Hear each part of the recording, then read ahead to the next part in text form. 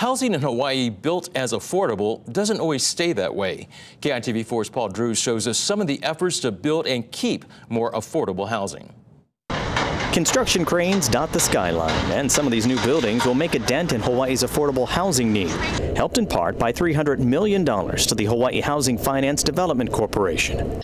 And these funds act as gap financing in the form of low interest long term loans. Last year, they awarded funding to 15 projects, which will add a total of 2,100 more affordable housing units.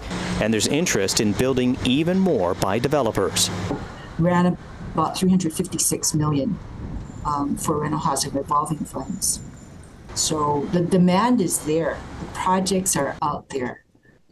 Uh, what we faced right now is an issue of private activity bonds. There's a ceiling on that. But while the state has millions to spend, little of that money is used to buy back affordable units from owners. If we're not able to buy them back, the owner is, is able to sell whatever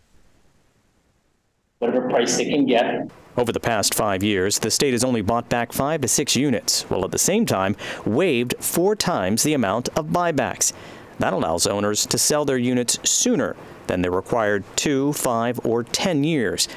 They would still have to pay the difference in the selling price for the unit and what they bought it for, so the state would get that equity money, but it would lose an affordable unit.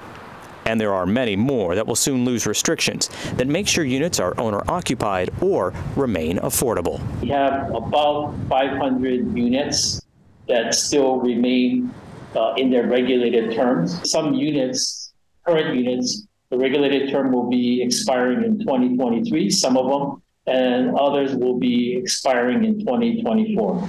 Since the state isn't buying back those units, Nakamoto would like nonprofit agencies to step in. To bring in another buyback agent besides HHFDC, Hawaii Housing Finance Development Corporation, like a nonprofit, to help us to buy back uh, reserve housing units, thereby extending the affordability of the reserve housing unit for a little while longer. Paul Drewes, KITV4 Island News.